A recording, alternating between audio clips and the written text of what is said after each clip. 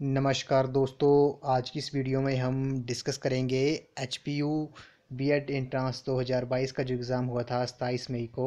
आज उसका रिज़ल्ट जारी कर दिया गया है एच पी यू शिमला द्वारा।